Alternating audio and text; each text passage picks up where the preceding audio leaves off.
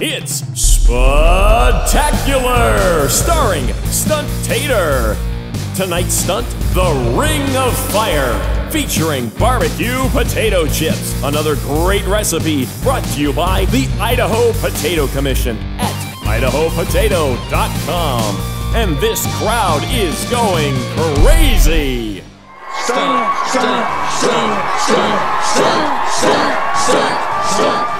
Last time I heard a crowd yell like that, it was for me. Oh, it was loud. They just can't wait to see Stunt Tater jump through that ring of fire, and frankly, neither can I.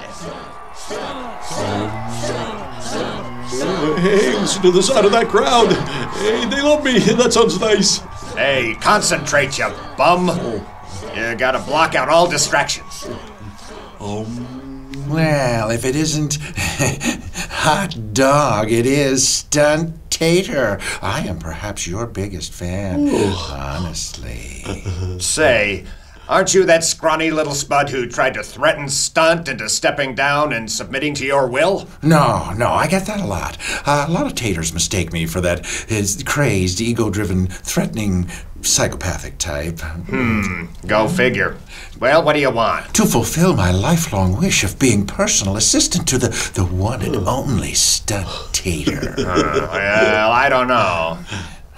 I can salt you, I can dress you, oil you, prep you, massage you, sing karaoke, pretty much anything you like. Oh, sold. You can start right now by olive oiling me up for the ladies.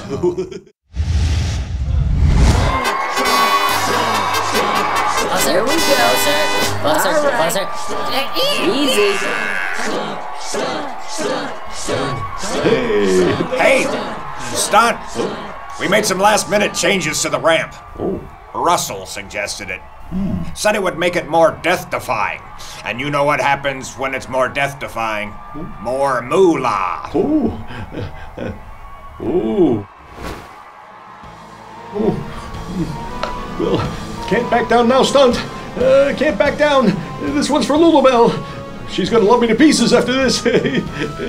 Oh, this reminds me of when I did a triple jump diving backflip over razor sharp butter knives. You, you never did that.